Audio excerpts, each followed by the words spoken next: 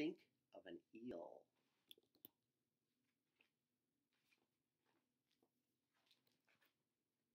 So pretty.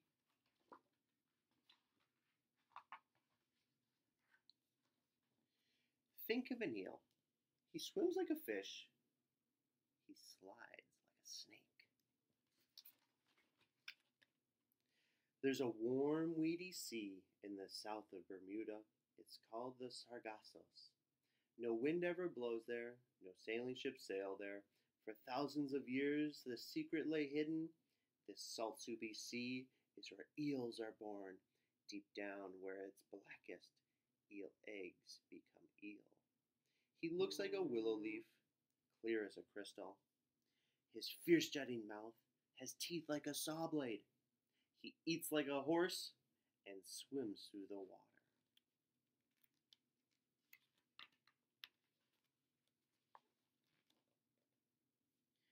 Imagine this eel leaf and millions just like him, swimming on waves across the wide sea. Some are unlucky, the seagulls are waiting, beaks snapped like scissors through the wiggling water. Young eels from the Sargassos travel either to Europe or to America, whichever their parents did before them.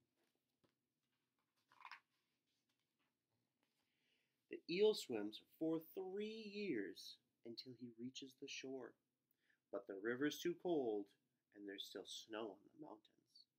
So he waits in the water until he turns to an elver.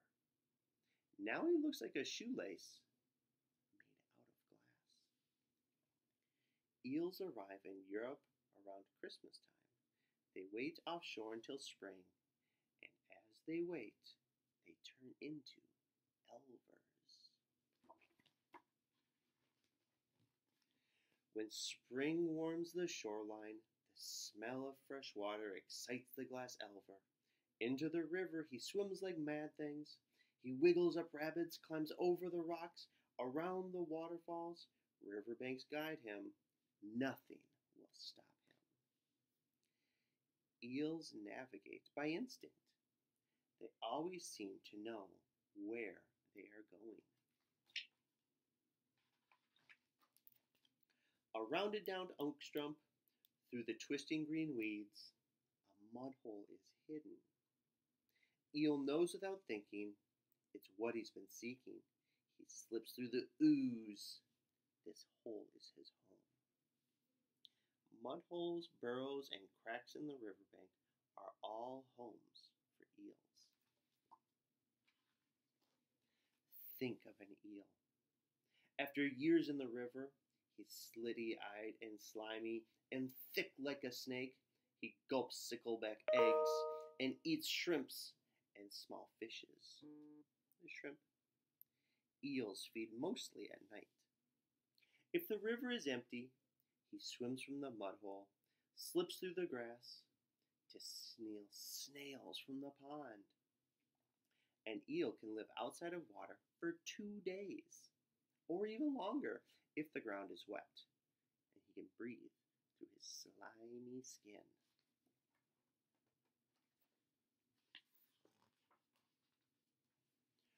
One day, Eel stops eating, his stomach is shrinking, his long winding body turns silver and black. Eels, like black currants, bulge into headlights. For now, the last time, Eel slides from the mud hole. His years in the river are over forever. Silver Eel waits for a night that is moonless when the rain from the mountains has flooded the stream. Then he slips down the river, down to the seashore. The time has arrived for his long journey home. Silver eels usually leave the river in September or October. While they're waiting for a dark night, they sometimes get tangled up in a ball. For 80 days, Silver Eel swims through the ocean, squirms like a secret from seabird and sailor. There are millions just like him deep down in the water, swimming silently back to the Sargasso Sea.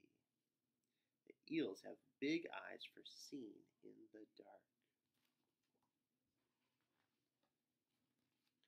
There's an eel tomb and an eel cradle in the weedy Sargasso. After 80 days swimming, not eating, not sleeping, the eel's long winding body is worn out and wasted. He spills the new life carried deep in his belly, then sinks through the sea a used silver wrapper. The male eel's sperm fertilizes the female's egg in the water.